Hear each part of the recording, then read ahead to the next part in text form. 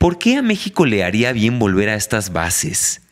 ¿Por qué a México le haría bien volver a la sabiduría ancestral y a esta filosofía original de los pueblos que al final, al fin de cuentas, nos han puesto aquí el día de hoy? ¿No? O sea, somos parte de eso. ¿Por qué deberíamos de volver a escuchar a los ancestros?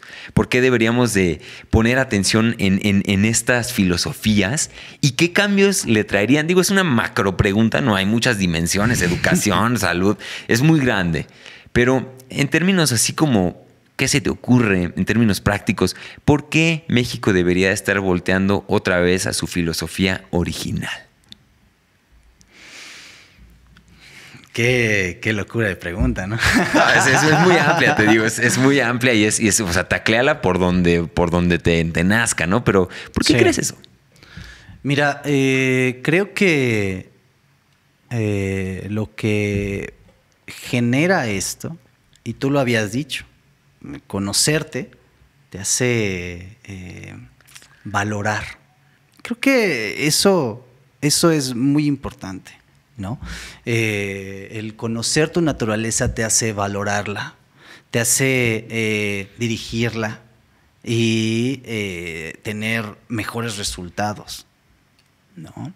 Es como, como agarrar y decir, bueno, ¿por qué eh, necesitamos disciplina en nuestra vida? ¿no? Y no me refiero a una disciplina, ah, tienes que hacer esto, no. Sino la disciplina que te propone este sistema es a través de qué es lo que te gusta, qué es lo que te encanta, qué es lo que amas hacer, ¿no? Y qué es lo que puedes hacer todo el tiempo. Hazlo, ¿no? Dedícate a eso hazlo todo el tiempo.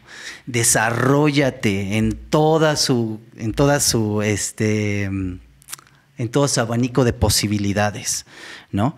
Y eso, imagínate, es lo que, como empezamos esto, tal cual, ¿no? Eh, haz lo mejor que puedas en todo. ¿Qué pasaría si todos los mexicanos hiciéramos todo lo que hacemos de la mejor manera que podemos? Es más, que amemos cada cosa que hacemos.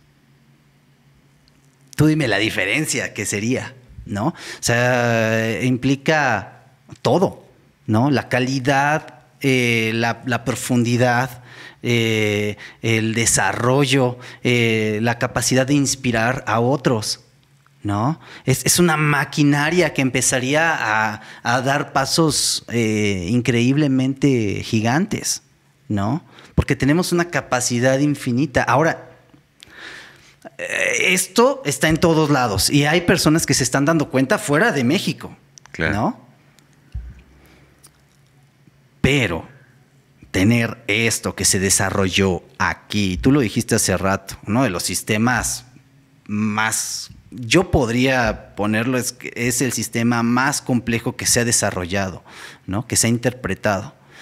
Eh, pero bueno, ya habrá otras personas que, difieran de eso, ¿no? Pero eh, el orgullo, ¿no? La identidad, el, ah, el valor que te da el seguir con un legado, yo creo que es mucho, es mucho que, eh, lo, que lo que nos podría aportar, ¿no? Ok. Ahora, poniéndonos todavía más críticos, si pensáramos que esta filosofía, porque he escuchado también últimamente eso, ¿no? Como que México carece de una filosofía. Y, me quedo como, ay, güey. O sea, es un, es un, o sea, si ya nos estamos dando cuenta que el problema es que en México no hay una filosofía y que cada seis años la cambian y cada seis años llega uno con una distinta, que no tiene por qué ser igual, pero pues, que haya algo de fondo, ¿no? O sea, parece que la filosofía de aquí en México es hacernos ricos a costa de lo que sea, o no sé, como que está muy endeble, digamos, esta, esta cuestión filosófica, ¿no? A, nivel, a nivel eh, nación.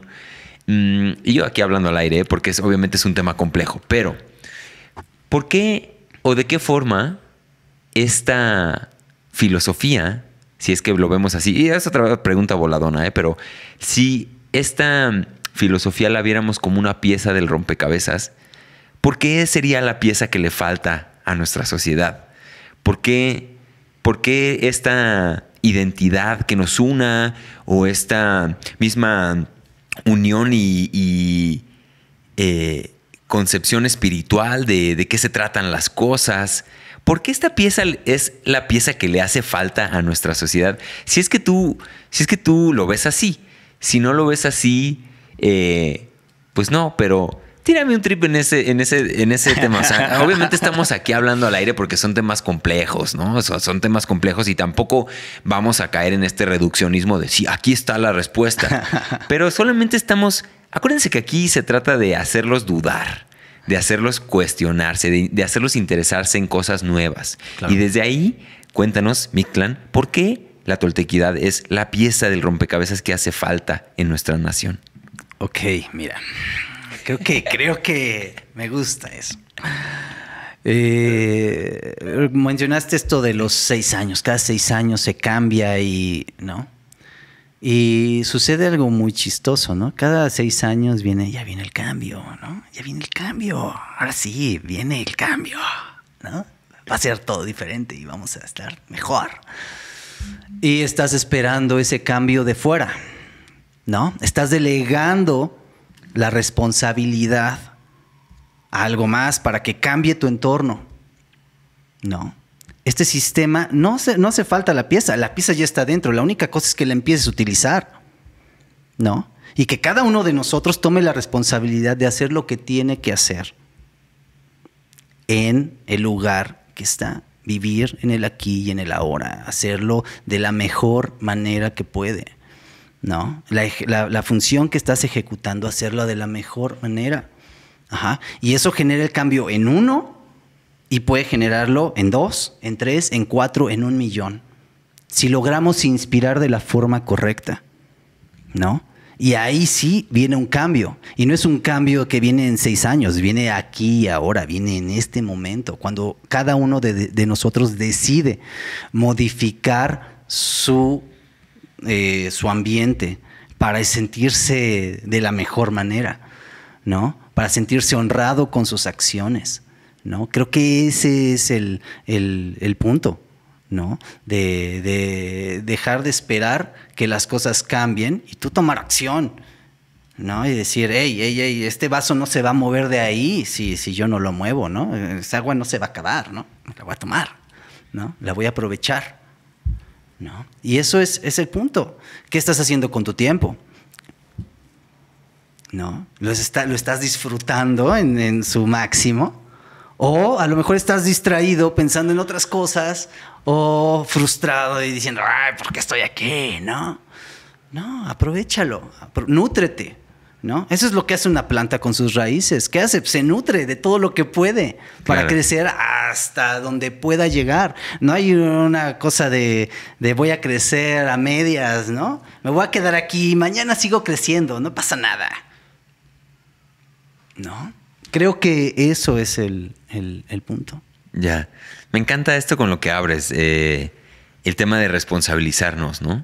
de no darle nuestro poder a algo más para que algo más llegue y haga el cambio en nosotros. Eh, porque la, la planta no está esperando a que llegue nadie. O sea, es su camino y es su crecimiento y es su desarrollo. Va a ser lo mejor que pueda haciendo planta. Y va a ser planta y con eso está bien.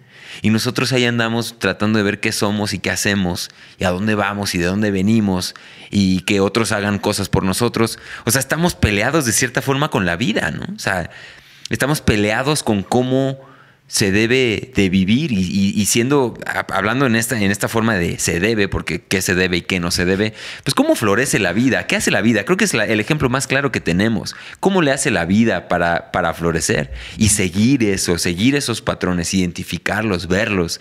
Es por algo que a mí me encanta ir al, monte, ¿no? En estas experiencias que ya llevamos dos aquí en el, con, con la gente, con la comunidad yo siempre voy a meter a la gente a la montaña, a caminar, a conectarse con la naturaleza, escuchar los pajaritos, poner los pies en la tierra literalmente, porque eso empieza a hacerte dar cuenta, ¿no? Y, como este sistema ideográfico, la misma naturaleza está llena de ideas impresas, ¿no? O sea, yo puedo ver un árbol y ese árbol me, me simboliza fortaleza, sabiduría.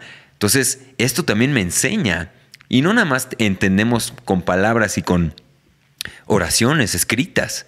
también entendemos de esta manera, entendemos de observar y de conectar con todo esto que hay a nuestro alrededor.